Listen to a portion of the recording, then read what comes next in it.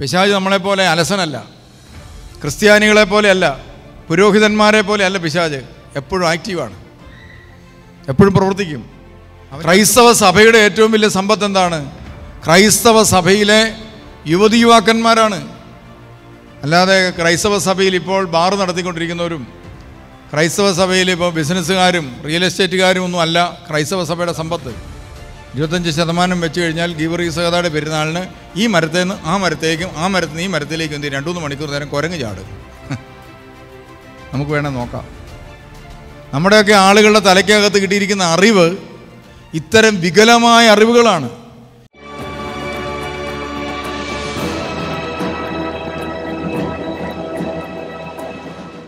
വലിയ ഒരു പ്രതിസന്ധിയിലൂടെയാണ് ലോകം ഇപ്പോൾ കടന്നുപോയിക്കൊണ്ടിരിക്കുന്നത്. പല രാജ്യങ്ങളും സാമ്പത്തികമായി തന്നെ തകർന്നടിഞ്ഞുകൊണ്ടിരിക്കുകയാണ്. നമ്മുടെ തൊട്ടടുത്തുള്ള രാജ്യം ശ്രീലങ്ക സാമ്പത്തികമായി തകർന്നു.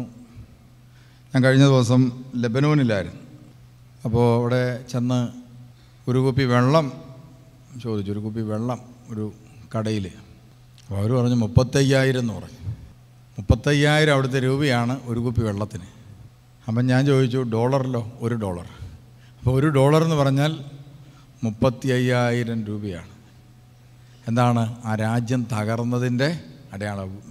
പണത്തിന് വിലയില്ല. അങ്ങനെ സാമ്പത്തിക മേഖലയിൽ ലോകം തകർന്നടിഞ്ഞുകൊണ്ടിരിക്കുകയാണ്. അതുകൊണ്ട് നമ്മൾ മനസ്സിലാക്കണം സമ്പത്ത് എന്ന് പറയുന്നത് ഒരു നീർക്കുമളയാണ് എന്നൊരിക്കൽ അമേരിക്കയിൽ സാമ്പത്തിക മാന്ദ്യമുണ്ടായപ്പോൾ അന്നത്തെ മാർപ്പാപ്പ പറഞ്ഞൊരു വാക്കാണ് സമ്പത്ത് ഒരു നീർക്കുമുളയാണെന്ന സത്യം ഒരിക്കൽ കൂടി ലോകത്തിന് ഇതാ വെളിപ്പെട്ടിരിക്കുന്നു. അപ്പോൾ അതുകൊണ്ട് നമ്മളിന്ന് ആശ്രയിക്കുന്ന പലതിലും നമ്മൾ ആശ്രയിച്ചിരുന്നാൽ ഉണ്ടാകാൻ പോകുന്ന ദോഷം ആ നീർക്കുമ്പള പൊട്ടിക്കഴിയുമ്പോൾ നമ്മളില്ലാതാവും നമ്മൾ ആ കൂട്ടത്തിൽ തകർന്നു പോകും. അതുകൊണ്ട് പലപ്പോഴും നമ്മുടെ പ്രാർത്ഥനകളും യാചനകളും എല്ലാം എന്തിനു വേണ്ടി എന്ന് നമ്മൾ പലപ്പോഴും ചിന്തിക്കുമ്പോൾ സമ്പത്ത് അങ്ങനെയുള്ള പലതിനും വേണ്ടിയുള്ള പ്രാർത്ഥനയാണ്. എന്നാൽ ഇപ്പോൾ നമ്മൾ ഏറ്റവും കൂടുതൽ പ്രാർത്ഥിക്കേണ്ടത് വിശ്വാസം വർദ്ധിക്കാൻ വേണ്ടിയിട്ടാണ് നമ്മൾ പ്രാർത്ഥിക്കേണ്ടത് വിശ്വാസം. ആ വിശ്വാസം എങ്ങനെയാണ് ഒരു വ്യക്തിക്ക് കിട്ടുന്നതെന്ന് പൗലോസപ്പോസോൻ രേഖപ്പെടുത്തിയിട്ടുണ്ട്. റോമ പത്ത് പതിനേഴ്. വിശ്വാസം വിശ്വാസം കേൾവിയിൽ കേൾവിയിൽ നിന്ന്.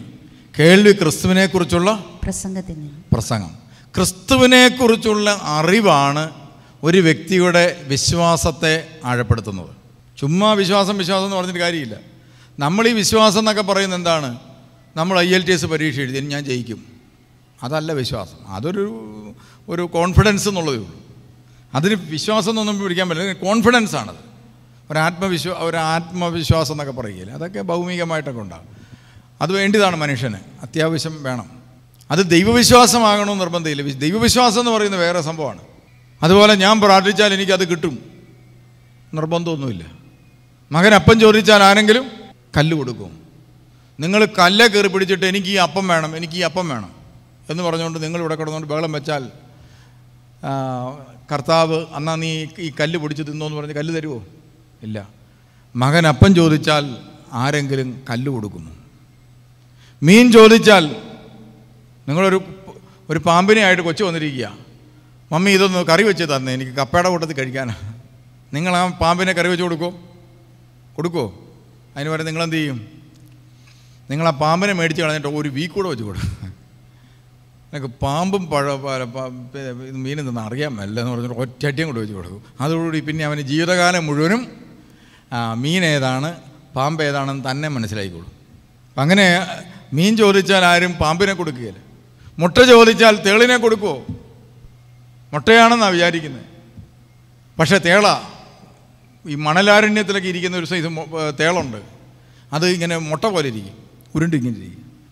തേള മുട്ടയാണെന്ന് ഓർത്ത് പോയി എടുത്തു കഴിയുമ്പോഴായിരിക്കും മനസ്സിലാകുന്നത് തേളാണ് അപ്പോൾ അങ്ങനെ ഒത്തിരി സാധനങ്ങൾ ഈ ലോകത്തുണ്ട്. മുട്ടയാണെന്ന് ഓർത്ത് പോയി പല കഴിച്ചിട്ടിപ്പം വയറ്റി കിടന്ന് ചാടുന്ന പല തേളുകളുമുണ്ട് മീനാണെന്ന് ഓർത്ത് കഴിച്ച പാമ്പുകളുണ്ട്. അപ്പമാണെന്ന് ഓർത്ത് കഴിച്ച കല്ല് ഇപ്പം വിഴുങ്ങാനും മേലെ പുറത്തോട്ടും പോകത്തില്ല. അങ്ങനെ വയറ്റി കല്ലായിട്ട് കിടക്കുകയാണ് ചിലരുടെ ജീവിതത്തിൽ. മനസ്സിൽ തലയ്ക്കകത്ത് ചിന്താഗതിയിൽ കല്ലായിട്ട് കിടക്കുകയാണ്. എന്നിട്ട് ഈ ഭാരമൊക്കെ ചുമക്കാൻ മേലാതെ വല്ലാത്ത അവസ്ഥയിലാണ് മനുഷ്യൻ. ഇങ്ങനത്തെ ഒരു വലിയ പ്രതിസന്ധി കൂടെ ലോകം പോയിക്കൊണ്ടിരിക്കുകയാണ്. അങ്ങനത്തെ ഒരു പ്രതി പ്രത്യേക പ്രതിസന്ധിയിൽ ഈ ലോകത്തെ ഈ മനുഷ്യനെയും കൊണ്ട് എത്തിച്ചിട്ടാണ് പിശാജ് അടുത്ത പരിപാടി ആരംഭിച്ചിട്ടുണ്ട്. പിശാജ് നമ്മളെപ്പോലെ അലസനല്ല. ക്രിസ്ത്യാനികളെ പോലെയല്ല പുരോഹിതന്മാരെ പോലെയല്ല പിശാജ്. എപ്പോഴും ആക്റ്റീവാണ് എപ്പോഴും പ്രവർത്തിക്കും. അവന്റെ അടുത്ത പ്രവർത്തനം എന്താണ്? ഈ പരുവത്തിനെ കൊണ്ട് നിർത്തിയിട്ട് ഇപ്പോൾ മയക്കുമരുന്നുകളിലൂടെ നമ്മുടെ യുവതി യുവാക്കന്മാരെ നശിപ്പിക്കാൻ പിശാജ് പല തന്ത്രങ്ങളും പ്രയോഗിച്ചുകൊണ്ടിരിക്കുകയാണ്. അത് ഡയറക്റ്റ് വന്നിച്ച് പറയുകയാണ് റോയ് സാർ മയക്കുമരുന്നാണ്. ഇത് കഴിച്ചോ എന്ന് പറഞ്ഞാൽ കഴിക്കുമോ ഇല്ല. പക്ഷേ ചില കടകളിൽ നിന്ന് മേടിക്കുന്ന ജ്യൂസ് കുടിച്ച് കഴിയുമ്പോൾ പിറ്റേ ദിവസം ആ കടയിൽ തന്നെ പോയി ജ്യൂസ് കുടിക്കണമെന്ന് തോന്നുന്നു. പത്രങ്ങളിൽ ഇപ്പോൾ വാർത്ത വരുന്നുണ്ട്. ചുമ്മാ ഒരു സ്റ്റിക്കർ തമാശ ഇടയിൽ നൊട്ടിച്ച് നോക്കിക്കട നല്ല രസമാണ് സ്വർഗം കാണാൻ പറ്റും. പിള്ളേർ ചിലപ്പോൾ ചുമ്മാ നാക്കയിൽ ഒട്ടിച്ച് നോക്കി. പിറ്റേ ദിവസം ആകുമ്പോൾ അവൻ അതൊരെണ്ണം കിട്ടിയാൽ കൊള്ളാമെന്ന് ആഗ്രഹം. കൂട്ടുകാരി ഇവിടെ ഇടി മറ്റേ സാധനം വല്ലതും ഇരിപ്പുണ്ടോ ഇടി നമ്മുടെ കുഞ്ഞുങ്ങളെല്ലാം വഴിതെറ്റിപ്പോയിക്കൊണ്ടിരിക്കുകയാണ്. എന്തിനാണ് ഇതിങ്ങനെ ചെയ്യുന്നത്?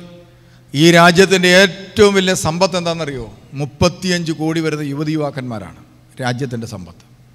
മറ്റു രാജ്യങ്ങൾക്കൊന്നും ഈ സമ്പത്തില്ല. ഇന്ത്യ മഹാരാജ്യത്തിന്റെ ഏറ്റവും വലിയ സമ്പത്ത് പതിനെട്ട് വയസ്സിനും മുപ്പത്തിയഞ്ച് വയസ്സിനും ഇടയ്ക്കുള്ള മുപ്പത്തിയഞ്ച് കോടിയോളം അടുത്ത് യുവതി യുവാക്കന്മാരുണ്ടെന്നാണ് പറയുന്നത് മൊത്തം രാജ്യത്ത്. അത് ഈ രാജ്യത്തിന്റെ ഏറ്റവും വലിയ സമ്പത്താണ്. ആ സമ്പത്തിനെ സമ്പത്തായിട്ട് ആരെങ്കിലും കാണുന്നുണ്ടോ? കാണുന്നില്ല. ക്രൈസ്തവ സഭയുടെ ഏറ്റവും വലിയ സമ്പത്ത് എന്താണ് ക്രൈസ്തവ സഭയിലെ യുവതി യുവാക്കന്മാരാണ്. അല്ലാതെ ക്രൈസ്തവ സഭയിൽ ഇപ്പോൾ ബാർ നടത്തിക്കൊണ്ടിരിക്കുന്നവരും ക്രൈസ്തവ സഭയിൽ ഇപ്പോൾ ബിസിനസ്സുകാരും റിയൽ എസ്റ്റേറ്റുകാരും ഒന്നും അല്ല ക്രൈസ്തവ സഭയുടെ സമ്പത്ത്. വലിയ കമ്പനി നടത്തുന്നവരും അതൊന്നുമല്ല സമ്പത്ത്. ക്രൈസ്തവ സഭയുടെ ഏറ്റവും വലിയ സമ്പത്ത് ക്രൈസ്തവ സഭയിൽ ജീവിക്കുന്ന യുവതി യുവാക്കന്മാരാണ്. അതുകൊണ്ട് ഈ സമ്പത്ത് സംരക്ഷിക്കാൻ പള്ളികളുമല്ല ദേവാലയങ്ങളൊന്നുമല്ല നിങ്ങൾ ഉദ്ദേശിക്കുന്ന പോലെ അതൊന്നുമല്ല. ഒക്കെ സമ്പത്താണ്. ആളില്ലെങ്കിലോ വല്ലതും പ്രയോജനപ്പെടുമോ ലോകമൊട്ടുക്ക് ആയിരക്കണക്കിന് പതിനായിരക്കണക്കിന് ദേവാലയങ്ങളുണ്ട്. എല്ലാം ശൂന്യമായിട്ട് കിടക്കുകയാണ്. ദേവാലയം ഉണ്ടായിട്ട് കാര്യമുണ്ടോ? ഒരു പൂച്ചക്കുറുക്കം പോലും ഞാൻ ഈ പോയ വിദേശ രാജ്യങ്ങളിൽ ഒരു പള്ളിയുടെ മാതൊക്കെ കണ്ടില്ല. വിശ്വാസിയില്ല. അച്ഛന്മാരുമില്ല. ആരുമില്ല. ശൂന്യമായ ദേവാലയങ്ങൾ. അത് സമ്പത്താണോ? ക്രിസ്തീയ സഭയുടെ സമ്പത്ത്. ബാധ്യതയാണ്. ലോകമൊട്ടുക്കുള്ള ക്രൈസ്തവ സഭകളുടെ ബാധ്യതകളാണ് സത്യത്തിൽ പല ദേവാലയങ്ങളും ആ അവസ്ഥയിലായിട്ടുണ്ട്. എന്നാൽ ഒരു സഭയുടെ സമ്പത്ത് എന്ന് പറയുന്നത് ആ സഭയിലെ ജനങ്ങളും യുവതി യുവാക്കന്മാരും കുഞ്ഞുങ്ങളുമാണ്. അവരെ ക്രിസ്തീയ മൂല്യങ്ങൾക്കൊത്ത് വളർത്താൻ നമ്മൾ എന്താണ് ചെയ്യേണ്ടത്? എന്താണ് ചെയ്യുന്നത്? അവരുടെ വിശ്വാസം ഉറപ്പിക്കാൻ എന്താണ് നമ്മൾ ചെയ്യേണ്ടത്? വിശ്വാസം കേൾവിയിൽ നിന്ന് കേൾവി ക്രിസ്തുവിനെക്കുറിച്ചുള്ള പ്രസംഗത്തിൽ നിന്ന്. അങ്ങനെയാണെങ്കിൽ യോഹന്നാന്റെ സുവിശേഷം പതിനേഴ് മൂന്ന് വായിക്കാം. ഏക സത്യദൈവമായ അവിടുത്തെയും അങ്ങ് അയച്ച യേശു ക്രിസ്തുവിനെയും അറിയുക എന്നതാണ് നിത്യജീവൻ. ഏക സത്യദൈവമായ അവിടുത്തെയും അങ്ങയച്ച യേശു ക്രിസ്തുവിനെയും അറിയുക എന്നതാണ് നിത്യജീവൻ. അപ്പോൾ വിശ്വാസവും വിശ്വാസത്തിന്റെ അനന്തരഫലവുമായ നിത്യമായ ഒരു ജീവിതം ഒരു വ്യക്തിക്ക് ലഭിക്കുന്നത് യേശു ക്രിസ്തുവിനെക്കുറിച്ചും പിതാവായ ദൈവത്തെക്കുറിച്ചുമുള്ള അറിവിലൂടെയാണ്. ജ്ഞാനത്തിന്റെ പുസ്തകം പതിനഞ്ചിൽ രണ്ട് മൂന്ന് വചനം വായിച്ചേ. അങ്ങ് ഞങ്ങളെ സ്വന്തമായി കണക്കാക്കി എന്നറിയുന്നതിനാൽ ഞങ്ങൾ പാപം ചെയ്യുകയില്ല. അങ്ങ് ഞങ്ങളെ സ്വന്തമായി കണക്കാക്കി എന്നറിയുന്നതിനാൽ ഞങ്ങൾ പാപം ചെയ്യുകയില്ല ഈ ഒരു അറിവുണ്ടാകണം. ദൈവം നമ്മളെ സ്വന്തമെന്ന് കണക്കാക്കി എന്ന് അറിയുന്നതിലൂടെയാണ് പാപം ഇല്ലാതാകുന്നത്. വായിച്ചേ ഒന്നുകൂടെ വായിച്ചത് അങ്ങ് ഞങ്ങളെ സ്വന്തമായി കണക്കാക്കിയെന്ന് അറിയുന്നതിനാൽ ഞങ്ങൾ പാപം ചെയ്യുകയില്ല. അപ്പൊ അപ്പോൾ ഒരു വ്യക്തിയെ പാപത്തിൽ നിന്ന് മോചിപ്പിക്കുന്ന എന്താണ്? ഞാൻ ദൈവത്തിന്റെ ആളാണ്. എന്നൊരു യാഥാർത്ഥ്യം അയാൾക്ക് അയാളുടെ മനസ്സിൽ മനസ്സിലായി കഴിഞ്ഞാൽ അയാൾക്ക് പിന്നെ എങ്ങനെ പാപം ചെയ്യാൻ പറ്റും? അങ്ങനെയാണ് പാപത്തിൽ നിന്ന്. അതുകൊണ്ട് അറിയുക. അപ്പോൾ ഈ അറിവിലേക്ക് വരാതിരിക്കാനുള്ള എല്ലാ കാര്യങ്ങളും പിശാചി ചെയ്യും. പിന്നെ ബാക്കി വായിച്ചേ? അങ്ങയെ അറിയുന്നതാണ് നീതിയുടെ പൂർണത. അങ്ങേ അറിയുന്നതാണ് നീതിയുടെ പൂർണത. ദൈവത്തിന്റെ എല്ലാ പൂർണതയും എന്ന് പറയുന്നത് ദൈവത്തെ അറിയുന്നതാണ്. പിന്നെ? അങ്ങയുടെ ശക്തി അറിയുന്നതാണ് അമർത്യതയുടെ ആരംഭം. അങ്ങയുടെ ശക്തി അറിയുന്നതാണ് അമർത്യത എന്ന് പറയുന്നത് മരണമില്ലാത്ത ഒരു ജീവിതത്തിന്റെ നിത്യതയുടെ ആരംഭം എന്ന് പറയുന്നത് അവിടുത്തെ അറിയുക എന്നുള്ളതാണ്. പിന്നെ? മനുഷ്യന്റെ കരവേലയുടെ ദുഷ്പ്രേരണയോ ചിത്രകാരന്റെ നിഷ്ഫലയത്നമായ നാനാവർണാഞ്ചിതമായ ചിത്രങ്ങളോ ഞങ്ങളെ വ്യതിചലിപ്പിക്കുകയില്ല. അപ്പോൾ അതുകൊണ്ട് നമ്മൾ എന്ത് ചെയ്യരുത്? ഒരു വിശ്വാസിയെ കണ്ണഞ്ചിപ്പിക്കുന്ന കാഴ്ചകൾ വ്യതിചലിപ്പിക്കാൻ പാടില്ല. ഇന്ന് സത്യത്തിൽ പ്രിയമുള്ളവരെ നമ്മളൊന്ന് ചിന്തിച്ചു നോക്കിയാൽ ഇന്ന് കണ്ണിന് ഇമ്പകരമായ കാഴ്ചകൾ നൽകി എങ്ങനെയെങ്കിലും മനുഷ്യനെ പിടിച്ചു നിർത്താനുള്ള ശ്രമമാണ് നമ്മളിപ്പോൾ നടത്തിക്കൊണ്ടിരിക്കുന്നത് അല്ലേ? കുറേയൊക്കെ അത് നമ്മുടെ നാട്ടിൽ ചിത്രകലയായിട്ടും അല്ലേ പള്ളിയിലൊക്കെ നമ്മളിങ്ങനെ ചിത്രങ്ങളൊക്കെ വെക്കുമ്പോൾ എന്താണ്? ആ ഈ ചിത്രം കണ്ടിട്ടാണേലും വേണ്ടില്ല. ചിത്രപ്പണികളൊക്കെ കണ്ടിട്ടാണേലും ഇത് കാണാനായിട്ടാണേലും വള്ളിയിലൊന്ന് വരുമല്ലോ നമ്മളൊന്ന് ആലോചിച്ച് ഒരു പെരുന്നാൾ എന്ന് പറയില്ലേ? നമ്മൾ പെരുന്നാൾ ഒരു പെരുന്നാൾ ലൈറ്റ് ഇല്ലാത്ത ചെണ്ടയില്ലാത്ത ബാൻഡ് മേള ഇല്ലാത്ത ചിക്കൻ കറി അപ്പം ഇല്ലാത്ത ഒരു പെരുന്നാൾ എന്നാ പെരുന്നാൾ പെരുന്നാൾ ലൈറ്റില്ല ഇങ്ങനെ കറങ്ങുന്ന ലൈറ്റില്ലേ അതില്ല. ആ ദേവാലയത്തിൽ പെരുന്നാളിന് അപ്പോൾ വന്നുകൊണ്ടിരിക്കുന്നതിന്റെ ട്വന്റി പെർസെന്റ് ആളുകൾ ഈ മൂന്ന് കാര്യങ്ങൾ ഒഴിവാക്കിയാൽ പിന്നെ വരുമോ അല്ല നിങ്ങളൊന്ന് ആലോചിച്ച് നോക്കി വരുമോ നമ്മുടെ പെരുന്നാളിന് തന്നെ ആൾ വരാത്തത്. കാര്യമായിട്ട് ലൈറ്റൊന്നുമില്ല വെടികെട്ടുമില്ല ആകാശവിസ്മയം സത്യത്തിൽ നമ്മൾ ഈ വിസ്മയം കാണിക്കേണ്ട കാര്യമുണ്ടോ? അതിനേക്കാൾ എത്രയോ വലിയ വിസ്മയമാണ്. ആകാശം ദൈവത്തിന്റെ മുഖത്വത്തെ അറിയിക്കുന്നു. ആകാശത്തൊട്ട് അവന്റെ കൈവേലയെ കാണി അതല്ലേ വിസ്മയം? അത് കണ്ടിട്ട് കണ്ണില്ലാത്തവന് പള്ളിയുടെ ആകാശത്ത് ആകാശ വിസ്മയം കാണിച്ച് അവൻ എത്ര നാൾ പിടിച്ചു നിർത്താൻ പറ്റും? ഇതെല്ലാം ഈ ആകാശ വിസ്മയവും അതുപോലെ മറ്റ് വിസ്മയങ്ങളും എല്ലാം ഒന്ന് മാറ്റി വെച്ചിട്ട് ഇതെല്ലാം മാറ്റി വെച്ചിട്ട് ഒരു പെരുന്നാൾ നടത്തി നോക്കി. വളരെ കുറച്ച് ആളുകളെ വരത്തുള്ളൂ. അധികം പേര് വരികയില്ല. വളരെ കുറച്ച് ആളുകളെ വരത്തുള്ളൂ. അതൊന്നും ചെയ്യുന്നില്ലെന്ന് പറഞ്ഞ് കുറേ ആളുകൾ എന്നോട് പിണങ്ങിപ്പോയിട്ടുണ്ട് ഇവിടെ ഒരു ഒരു വാൻഡിമാളം പോലും വെക്കാൻ പറഞ്ഞ ഇവിടെ നാട്ടുകാരും പറഞ്ഞാൽ കേൾക്കുകയില്ല ഇയാൾക്ക് ഇയാളുടെ ഇഷ്ടത്തിനനുസരിച്ച് കാര്യങ്ങൾ ചെയ്യുന്നു. ആണ് എന്ന് പറഞ്ഞ് കുറേ മനുഷ്യർ എന്നോട് കുത്തി ഒരേ ഓരോ കാലഘട്ടങ്ങളിലും എന്തോരം പേരാണ് എന്നോട് വഴക്ക് പിടിച്ച് ഓരോ പള്ളിയിലും പിണങ്ങി. ഞാനും ചിലയിടത്തുനിന്ന് പിണങ്ങി പോകേണ്ടി വന്നു. എന്നോട് എല്ലാവരും പിണങ്ങി പോകേണ്ടി വന്നു. എന്താണ് ഈ ബാൻഡ് മേളം കുറച്ച് ആളുകൾ ഇല്ല എന്ന് പറഞ്ഞാൽ പോകും കുറേ പേർക്ക് ആകാശവിസ്മയില്ല കുറേ പേർക്ക് ലൈറ്റുകൾ ഇങ്ങനെ കറങ്ങുന്ന വെറും ലൈറ്റ് പോലെ ഇങ്ങനെ കുരങ്ങ് ഇവിടുന്ന് അപ്പുറത്തോട്ട് ചാടുന്നു അവിടുന്ന് ഇപ്പുറത്തോട്ട് ചാടുന്നു ഇവിടുന്ന് അപ്പുറത്തോട്ട് ചാടുന്നു. ഒരിക്കൽ ഒരാളിനോട് എന്ന് പറഞ്ഞാണ് വേറൊരു അരുവിത്തറ പള്ളിയിലെ കുരങ്ങ് ചാടുന്ന സംഭവം ആയതും ഇപ്പോൾ ഈയിടെ പെരുന്നാൾ കഴിഞ്ഞതേ ഉള്ളൂ. അപ്പം നമുക്ക് വെക്ക് വെച്ച് തരാം പക്ഷേ അതുകൊണ്ട് ആ മുഴുവൻ പൈസ കൊടുക്കേണ്ട ഇരുപത്തഞ്ച് ശതമാനം കൊടുത്താൽ മതി. ഇരുപത്തഞ്ച് ശതമാനം വെച്ച് കഴിഞ്ഞാൽ ഗീവർ സഹതയുടെ പെരുന്നാളിന് ഈ മരത്തിൽ നിന്ന് ആ മരത്തേക്കും ആ മരത്തിൽ നിന്ന് ഈ മരത്തിലേക്കും എന്ത് രണ്ട് മൂന്ന് മണിക്കൂർ നേരം കുരങ്ങ് ചാടും. നമുക്ക് വേണേൽ നോക്കാം. നമ്മുടെയൊക്കെ ആളുകളുടെ തലയ്ക്കകത്ത് കിട്ടിയിരിക്കുന്ന അറിവ് ഇത്തരം വികലമായ അറിവുകളാണ്. എന്തുമാത്രം നമ്മുടെ ദേവാലയങ്ങൾക്ക് ഈ കാലഘട്ടത്തിന്റെ ചലഞ്ചസ് ഞങ്ങളുടെ കുട്ടികളെവിടെ? മയക്കുമരുന്നിന് അടിമപ്പെട്ടി കഴിക്കുന്ന ഞങ്ങളുടെ പിള്ളേരെവിടെ? ഞങ്ങളുടെ പെൺകുട്ടികളെവിടെ? ഞങ്ങളുടെ യൂത്ത് എവിടെ? വല്ലവരും ചിന്തിക്കുന്നുണ്ടോ? ഇല്ല. എന്തിനേറെ പേരൻസ് പോലും ചിന്തിക്കുന്നില്ല ഇവൻ എടിയാ കിടക്കുന്നെന്ന് നമ്മുടെ മകൾ എവിടെയാണ് മകൻ എവിടെയാണ് നമ്മൾ ചിന്തിക്കുന്നില്ല.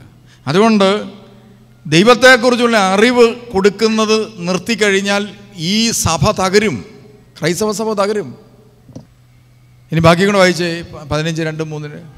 അവയുടെ രൂപം മൂഢരെ ആവേശം കൊള്ളിക്കുന്നു.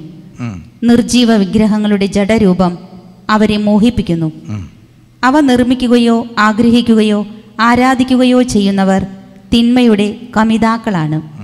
അവയിൽ കവിഞ്ഞ ഒന്നിലും ആശ്രയിക്കാൻ അവർക്ക് അർഹതയില്ല. കുശവൻ കളിമണ്ണ് കുഴച്ച് കിണഞ്ഞു പരിശ്രമിച്ച് ഉപയോഗയോഗ്യമായ പാത്രങ്ങൾ ഉണ്ടാക്കുന്നു. ഒരേ മണ്ണിൽ നിന്ന് ഒരേ രീതിയിൽ അവൻ ശുദ്ധവും അശുദ്ധവുമായ ഉപയോഗങ്ങൾക്ക് പാത്രങ്ങൾ ഉണ്ടാക്കുന്നു. അപ്പൊ അങ്ങനത്തെ ഒത്തിരി കാര്യങ്ങളുണ്ട് ഈ ഭൂമിയിൽ. ഇനി ജ്ഞാനത്തിന്റെ പുസ്തകം പതിനാല് ഇരുപത്തിരണ്ട് വായിച്ചേ. ദൈവത്തെക്കുറിച്ചുള്ള അറിവിൽ അവർക്ക് തെറ്റു പറ്റിയെന്ന് മാത്രമല്ല സംഘർഷത്തിൽ ജീവിക്കുന്ന അവർ ആ വലിയ തിന്മകളെ സമാധാനമെന്ന് വിളിക്കുകയും ദൈവത്തെ ദൈവത്തെക്കുറിച്ചുള്ള അറിവിൽ അവർക്ക് തെറ്റ് പറ്റിയാൽ എന്നാ പറ്റുമെന്നറിയോ? നമ്മുടെ ജനത്തിന് നമ്മുടെ കുട്ടികൾക്ക് നമ്മുടെ മാതാപിതാക്കന്മാർക്ക് ദൈവത്തെക്കുറിച്ചുള്ള അറിവിൽ തെറ്റ് പറ്റിയാൽ സംഭവിക്കാൻ പോകുന്ന കാര്യങ്ങൾ എന്തൊക്കെയാണ് അതോട്ട് പറയുന്നുണ്ട്. വായിച്ചു. ശിശുബലിയും ഗൂഢാനുഷ്ഠാനങ്ങളും വിചിത്രാചാരങ്ങളോടെയുള്ള മധുരോത്സവങ്ങളും നടത്തിയാലും ദൈവത്തെക്കുറിച്ചുള്ള അറിവിൽ അവർക്ക് തെറ്റുപറ്റിയെന്ന് മാത്രമല്ല സംഘർഷത്തിൽ ജീവിക്കുന്ന അവർ നമ്മുടെ ജീവിതത്തിലെ ഒരു നല്ല ശതമാനം ആളുകളും സംഘർഷത്തിലാണ് ജീവിക്കുന്നത്. പള്ളി വരുമ്പോൾ സംഘർഷമാണ് മനസ്സിൽ ടെൻഷനാണ് എന്തൊക്കെയാണ് ടെൻഷൻ? ദൈവം പ്രാർത്ഥന കേട്ട് കാണൂ. ഞാൻ പ്രാർത്ഥിച്ചാൽ കേൾക്കുമോ ഇനി എന്നാൽ പിന്നെ തിരുമേനിയെ കൊണ്ടുവന്ന് പ്രാർത്ഥിപ്പിച്ചാൽ ചിലപ്പോൾ കേൾക്കുമായിരിക്കും പ്രാർത്ഥിച്ച് പ്രാർത്ഥിച്ച് നോക്കിയിട്ട് എന്നിട്ടും കേട്ടെന്ന് തോന്നുന്നില്ല കാരണം ഇങ്ങോട്ട് പോകുന്നില്ലല്ലോ. പിന്നെ വേറെന്തെല്ലാം കാര്യങ്ങളുടെ നിങ്ങൾ ടെൻഷനാണ്. എന്തുകൊണ്ടാണെന്നറിയോ? ദൈവത്തെക്കുറിച്ചുള്ള അറിവിൽ തെറ്റുപറ്റിയിരിക്കുകയാണ്. അതുകൊണ്ടാണ് ഈ ടെൻഷൻ. ഓടുന്ന ഓട്ടമാണ് മനുഷ്യൻ. അനുഗ്രഹത്തിന് വേണ്ടിയുള്ള ഓട്ടമാണ്. നമ്മുടെയൊക്കെ ധാരണയിൽ എന്താണ്? ദൈവം ഒരു അത്ര വെളിവില്ലാത്ത ഇടയ്ക്കൊക്കെ ഉറങ്ങിപ്പോകുന്ന മെന്റൽ ഡിപ്രഷനുള്ള ഒരാളെ പോലെയാണ് നമ്മൾ കാണുന്നത്. കാരണം അദ്ദേഹത്തിന്റെ തലയ്ക്കത് വന്നില്ല തന്നെ അയ്യോ.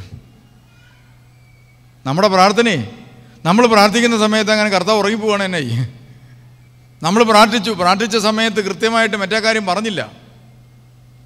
ഞങ്ങൾ എഴുതി കൊടുത്തായിരുന്നു. തിരുമേനി ആ കാര്യം പുറത്ത് പുറത്തേം പറഞ്ഞു. നമ്മുടെ കാര്യമാണെന്ന് അറിയത്തില്ല. മൊത്തത്തിൽ രോഗികൾക്ക് വേണ്ടി പറഞ്ഞു. എന്നാലും ക്യാൻസർ രോഗം വയറ്റിനകത്തുള്ള ആളുടെ കാര്യം പ്രത്യേകം പ്രാർത്ഥിക്കാഞ്ഞതുകൊണ്ട് ഇനിയിപ്പോൾ കർത്താവ് കാണാതെ പോകുമോ നമ്മുടെ പ്രാർത്ഥനയുടെ ഓരോ പ്രശ്നങ്ങളാണ് അപ്പോൾ നമ്മൾ ദൈവത്തെക്കുറിച്ചുള്ള അറിവിൽ നമുക്ക് തെറ്റുപറ്റിയിരിക്കുകയാണ് പലർക്കും. എന്നിട്ട് എന്ത് പറ്റുന്നു? സംഘർഷം കയറും അന്നേരം. ഇല്ലാത്ത സംഘർഷം കയറുകയാണ് പിന്നെ പ്രാർത്ഥനയോട് പ്രാർത്ഥന ബൈബിൾ വായനയോട് വായന. നോയമ്പെടുക്കുന്നതോട് നോയമ്പെടുക്കണം തൊണ്ണൂറ് ദിവസം നൂറ് ദിവസം വരെ നോയമ്പെടുക്കുന്നവരുണ്ട്. അപ്പോഴാണ് പ്രത്യേക ഒരു അച്ഛൻ എഴുതി കൊടുക്കും തൊണ്ണൂറ് ദിവസം നോയമ്പെടുക്കാം അന്നെങ്കിൽ തൊണ്ണൂറ്. ദൈവത്തെക്കുറിച്ചുള്ള അറിവിൽ അവർക്ക് തെറ്റുപറ്റിയെന്ന് മാത്രമല്ല സംഘർഷത്തിൽ ജീവിക്കുന്ന അവർ ആ വലിയ തിന്മകളെ സമാധാനം എന്ന് വിളിക്കുന്നു. പിന്നെ ശിശുബലി ഗൂഢാനുഷ്ഠാനങ്ങൾ വിചിത്ര ആരാധനകളോടുകൂടിയുള്ള മധുരോത്സവങ്ങൾ നടത്തിയാലും അവർ തങ്ങളുടെ ജീവിതമോ വിവാഹമോ പാവനമായി സൂക്ഷിക്കുന്നില്ല. പ്രിയമുള്ളവരെ നമുക്ക് വേണ്ടത് ജീവിതം പാവനമായി സൂക്ഷിക്കണം. വിവാഹം പാവനമായി സൂക്ഷിക്കണം.